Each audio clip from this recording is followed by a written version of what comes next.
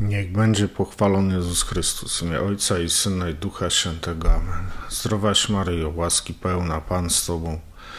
Błogosławionaś Ty między niewiastami, błogosławiony owoc żywota Twojego Jezus. Święta Maryjo, Matko Boża, módl się za nami grzesznymi, teraz i w godzinę śmierci naszej. Amen. E, dzisiaj jest piątek w oktawie Wielkanocy, 14 E, dzień kwietnia. Dzisiaj nawet jest e, święto Chrztu Polski, bo tak by wynikało, że w 1966 roku właśnie 14 kwietnia była, e, była Wigilia Paschalna, w czasie której udzielano wtedy chrztu. No i właśnie dlatego dzisiaj się obchodzi taką pamiątkę E, chrztu Polski, pamiątkę momentu, kiedy do Polski przyszło chrześcijaństwo, a kiedy przychodzi chrześcijaństwo, to tak naprawdę e, przychodzi otwarcie oczu, otwarcie oczu na obecność Boga, otwarcie oczu na prawdę o Bogu, na miłość Boga, otwarcie oczu na to, że nie jesteśmy sami, że nie jesteśmy porzuceni, że nikt z nas nie zrezygnował, że Bóg z nas nie zrezygnował, nie stracił cierpliwości, nie nie porzucił nas, że zawsze z nami był, tylko myśmy go nie dostrzegali, dlatego żeśmy się tułali w ciemnościach właśnie, a, a teraz otwieramy oczy i zaczynamy go widzieć. Właśnie, to trochę tak jak w dzisiejszej Ewangelii. Dzisiejsza Ewangelia to jest z 21 rozdziału Jana, wiersze 1 do 14. Jezus znowu ukazał się nad jeziorem Tyberiackim, a ukazał się w ten sposób. Byli razem Szymon Piotr, Tomasz zwany Didymos, Natanael z Kany Galilejskiej, synowie Zebedeusza oraz dwaj inni z jego uczniów. Szymon Piotr powiedział do nich, idę łowić ryby. Odpowiedzieli mu, idziemy i my z tobą. Wyszli więc i wsiedli do łodzi, ale tej nocy nic nie ułowili. A gdy ranek zaświtał, Jezus stanął na brzegu. Jednakże uczniowie nie wiedzieli, że to był Jezus. A Jezus rzekł do nich: Dzieci, macie coś do jedzenia? Odpowiedzieli mu: Nie. On rzekł do nich: Zarzućcie sieć po prawej stronie łodzi, a znajdziecie.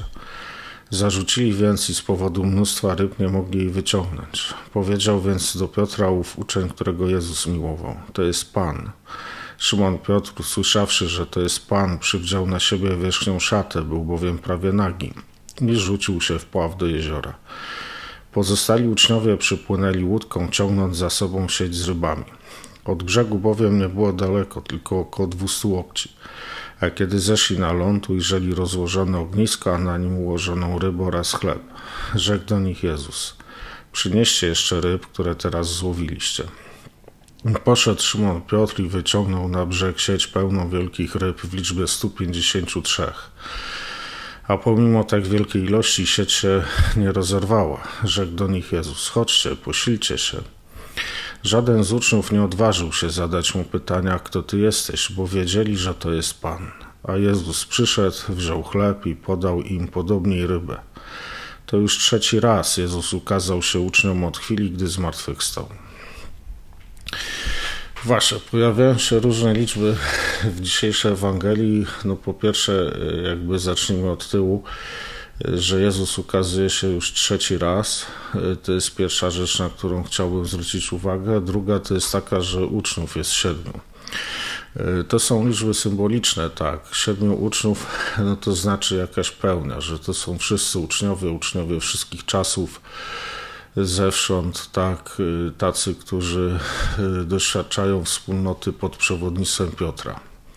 Nie, że zobaczy, że ciągle na pierwszym miejscu jest Piotr, prawda, dopiero potem cała reszta uczniów, prawda, i oni są z różnych miejsc, z różnych, prawda, stron, w różnym wieku, różnego pochodzenia, ale tym kimś, kto ich jednoczy, kto ich łączy, E, no to jest właśnie Piotr. I to są właśnie tych siedmiu, to są uczniowie wszystkich, wszyscy uczniowie wszystkich czasów, nie? wszyscy chrześcijanie wszystkich czasów zjednoczeni ze sobą właśnie poprzez osobę Piotra. E, uczniowie, którzy pochodzą z różnych stron, z różnych krajów, z różnych ludów, z różnych narodów, z różnych miejsc, są różnego pochodzenia to później tak bardziej szczegółowo to będzie święty Paweł właśnie to rozważał. Właśnie nie ma już Żyda, ani poganina, nie ma już, prawda, niewolnika, ani wolnego. Wszyscy jesteśmy kimś jednym w Chrystusie, prawda?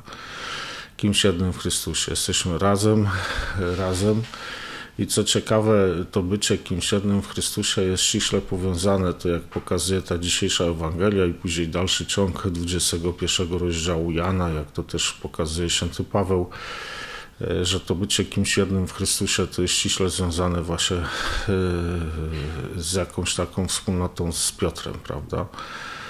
Żeby uznać to przewodnictwo Piotra. Więc tych siedmiu, no to właśnie trzeba widzieć w tej siódemce wszystkich uczniów wszystkich czasów. Natomiast to, że Jezus ukazał im się trzeci raz, to znaczy, że im się ukazuje ciągle i ciągle i ciągle. I teraz zobaczcie, jak Jezus się ukazuje uczniom ciągle i ciągle. Że generalnie w ogóle, jak się czyta opisy zjawień Jezusa zmartwychwstałego, to wyraźnie widać, że Jezusowi chodzi o to, żeby nauczyć uczniów, że On rzeczywiście z nimi jest. W Ewangelii nie znajdziemy takiego miejsca, które by mówił, że, mówiło, że Jezus zmartwychwstały się ukazał, a potem sobie poszedł. Tylko wszystkie greckie sformułowania mówią, że dał się widzieć, znaczy jest takie jedno, że Jezus stanął pośród nich, prawda? Ale generalnie kiedy jest odniesienie do widzenia, to że dał się widzieć i potem właśnie, że przestał być widzialny, ale dla oczu. Czyli jakby cały czas jest taka sugestia, właśnie to, ta nauka ze strony Jezusa, że ja tu jestem, możecie mnie przez chwilę widzieć i znikam wam z oczu, ale dalej tutaj jestem. To jeszcze będziemy to przy Tomaszu rozważać, że właśnie to, w co Tomasz nie potrafił uwierzyć, to ta obecność Jezusa. E, ta obecność Jezusa. I zobaczcie, że jest w nas coś takiego, jest w nas coś takiego, że jest nam bardzo łatwo zapomnieć o tej obecności, że my no, przez grzech pierworodny bardzo się skupiliśmy na poznaniu zmysłowym, emocjonalnym i prawda, takim właśnie, jeżeli czegoś nie czujemy, nie możemy pomacać, zobaczyć na oczy, usłyszeć na uszy, powąchać nosem, posmakować językiem, dotknąć rękami, jeżeli czegoś nie czujemy w emocjach, prawda, w zmysłach E, to bardzo łatwo nam jest uważać, że tego czegoś nie ma. Bardzo łatwo nam jest wchodzić w przekonanie o braku. W przekonanie o braku. I my ciągle, nawet jeżeli gdzieś tam przeżyjemy obecność Jezusa, jakoś jej doświadczymy, jakoś uwierzymy w obecność Jezusa z nami, e, to okazuje się, że ciągle o tej obecności zapominamy że Jezus przychodził już do uczniów, już spotykał się z nimi. Właśnie dlatego święty Jan mówi trzeci raz, nie? czyli kolejny raz, jeszcze kolejny, jeszcze kolejny. Że święty Jan pokazuje, że Jezus będzie przychodził do uczniów nieustannie, wciąż, jeszcze raz, jeszcze raz, bo Jezus doskonale zdaje sobie sprawę, że nam jest bardzo trudno zachować pamięć o Jego obecności bez odświeżania nam tego.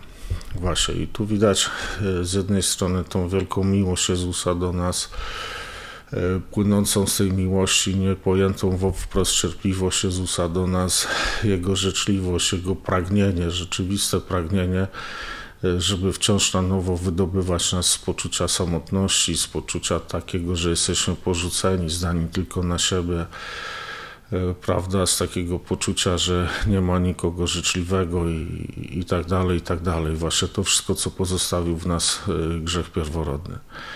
Prawda? I teraz zobaczcie, że dzisiejsza Ewangelia pokazuje pewną pedagogię Jezusa, e, że kiedy uczniowie e, no, w ten czy inny sposób e, dochodzą do takiego momentu, że gdzieś umyka im ta obecność Jezusa i zaczynają się szarpać z rzeczywistością sami, właśnie przy okazji tego, mm, tego całonocnego usiłowania złowienia ryb, prawda, gdzieś tam się szarpią z tą czynnością sami, E, prawda, że Jezus pozwala im się zmęczyć, pozwala im doświadczyć, jak mało znaczą sami, prawda, jak mało uczniowie znaczą sami. E, niektórzy mówią, że tu chodzi o wysiłek apostolski, prawda, o wysiłek głoszenia Ewangelii, o wysiłek łowienia ludzi dla Chrystusa. Ja myślę, że tu chodzi o wszystkie nasze ludzkie wysiłki. Że tu w ogóle chodzi o wszystkie nasze ludzkie wysiłki, e, wszystkie nasze wysiłki, jakie podejmujemy na co dzień że zobaczcie, problem grzechu pierworodnego to jest problem pójścia w samotność, samowystarczalność, samodzielność. I teraz zobaczcie pedagogię Jezusa, że Jezus pozwala nam się zmęczyć tą samodzielnością.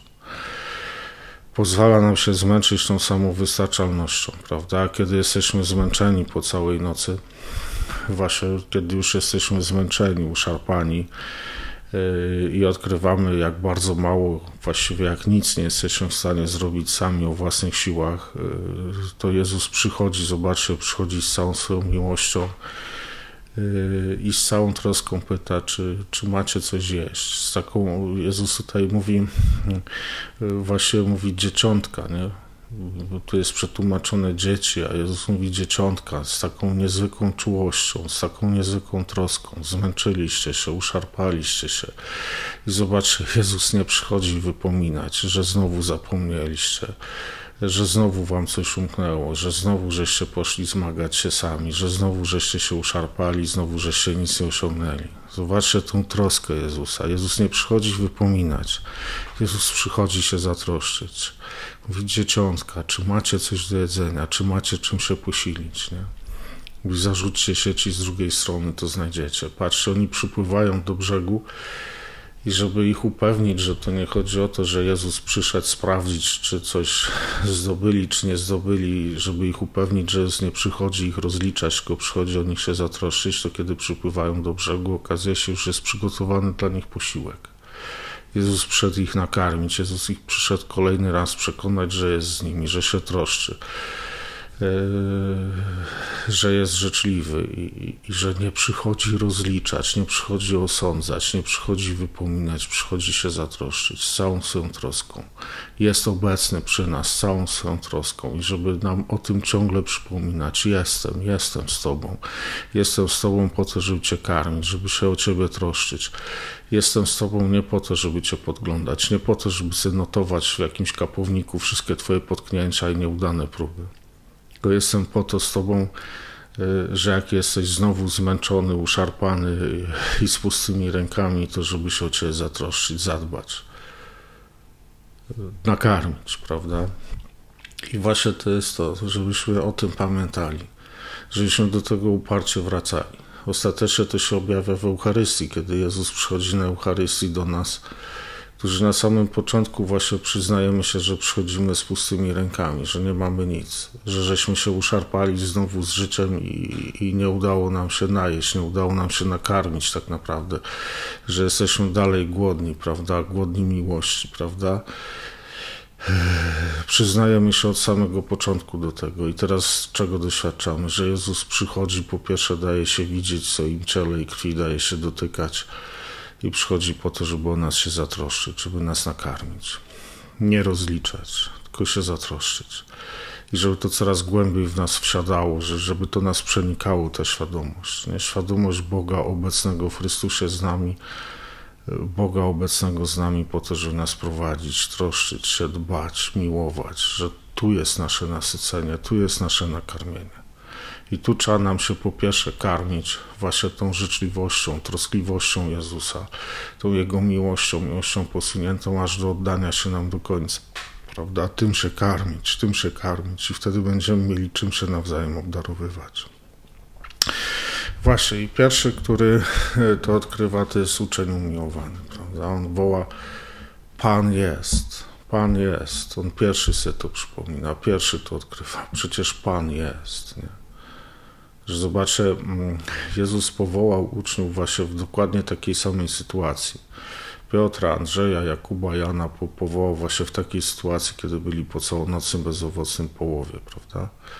I wtedy oni byli rozszaleni, zniechęceni i tak dalej. I teraz znowu jest ta sama sytuacja, ale sposób, w jaki oni to przeżywają, już jest inny. Oni są razem. Oni są razem. Oni przede wszystkim przeżywają wspólnotę. Tak, może nic nie złowili, ale są razem. I to jest dla nich najważniejsze. I ostatecznie w tym swoim razem odkrywają, że Pan jest, że przecież Pan jest, nie jesteśmy sami, Pan jest. I to ostatecznie okazuje się najważniejsze. Nie to, czy coś po ludzku złowiliśmy, czy nie złowiliśmy, osiągnęliśmy, czy nie osiągnęliśmy, tylko najważniejsze jest to, że Pan jest i Jego mocą my jesteśmy, jesteśmy razem. Mamy siebie, mamy Pana i mamy siebie nawzajem, to jest najważniejsze i że Pan przychodzi z całą troską o nas, bo możemy tej troski doświadczać i tą troską dzielić się między sobą i mieć w sobie radość Pana. I że i nasza radość może być w ten sposób pełna. Chwała Ojcu i Synowi i Duchowi Świętemu, jak była na początku, teraz i zawsze i na wieki wieków. Amen. Niech Was błogosławi Bóg Wszechmogący, Ojciec i Syn i Duch Święty. Amen.